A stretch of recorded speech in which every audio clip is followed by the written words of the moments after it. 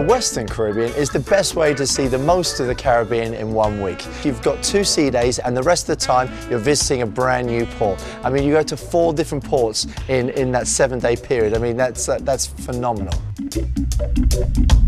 The first destination we go to is Labadee, and uh, it really is just an incredible experience. We've got parasailing, uh, we've got snorkeling, there's a dragon coaster uh, built through the mountains, the world's longest overwater zip line that we've got there.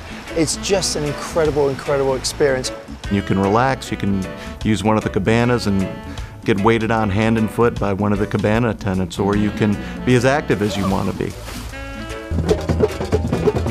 Next destination is Falmouth in Jamaica. We're really proud of Falmouth because Falmouth was actually created for our cruise ships to go in there.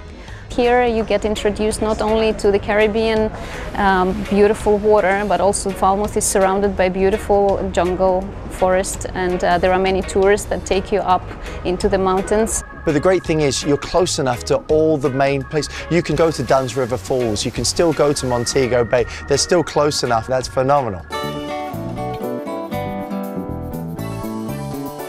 Next destination is Cozumel. It's a wonderful place if you want to discover something about the history. They've got the Mayan ruins there, so you can go there and actually see thousands and thousands of years of history. They've got wonderful restaurants, sample some of the local cuisine they've got there, and believe me, it's different from anything that you can try on the mainland. It's the proper, it's the real deal.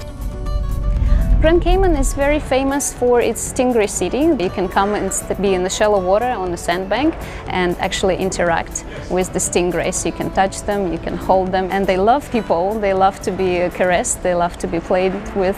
So um, I love to go out there once in a while, and it just gives you such a beautiful touch with nature.